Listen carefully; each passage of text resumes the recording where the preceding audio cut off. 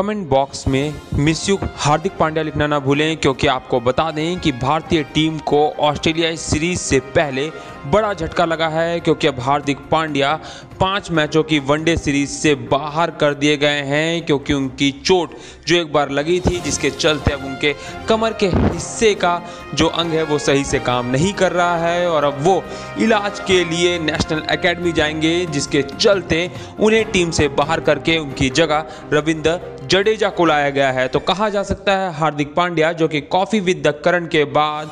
शानदार वापसी किए थे न्यूजीलैंड के खिलाफ इस चोट के चलते कहीं ना कहीं भारत को संकट में डाल गए हैं क्योंकि शायद इस समय उनसे बेहतरीन ऑलराउंडर भारत के पास नहीं है तो इसलिए हम सब प्रार्थना करते हैं और कमेंट बॉक्स में गेट वेल सून हार्दिक लिखना बिल्कुल न भूलें